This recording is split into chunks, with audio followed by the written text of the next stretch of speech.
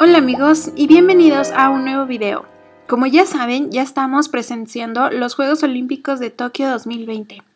Por lo tanto, vamos a transformar a la mascota de los Juegos a una versión kawaii. Bueno, su nombre es Miratowa. Su nombre es por las palabras japonesas Mirai, que significa futuro, y Towa, eternidad, o sea, hace un futuro lleno de esperanza. Lo dibujé sentado de frente y con la cabeza grande y dos óvalos que parecen ser orejas en un cuerpecito muy chubby, con las manitas al frente y sus pies a los lados. Mira Towa tiene como un traje cuadriculado. Él es todo blanco con sus cuadros azul marino.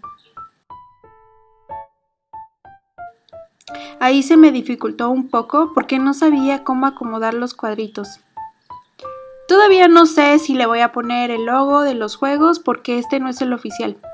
Yo creo que voy a hacer uno, un logo de simulación.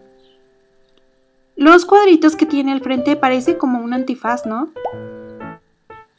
Es que no es parte de su cabeza, es más bien como sobrepuesto. Y además yo creo que le voy a cambiar los ojos porque no me están gustando. ¿Y qué me cuentan? ¿Están viendo las Olimpiadas?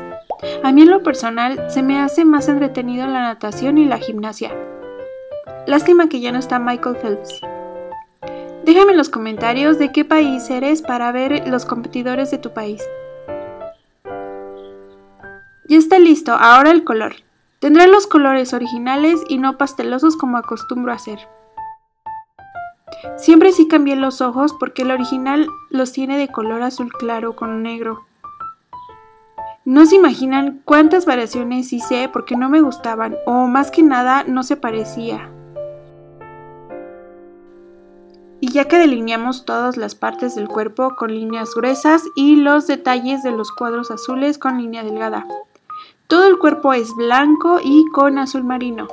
Le agregamos unas texturas y simule el logo de los Logos Olímpicos de Tokio 2020, algunas sombras y listo, así quedó. Este ha sido el video del día de hoy. Si te gustó este video, dale like y nos vemos en el próximo. Bye.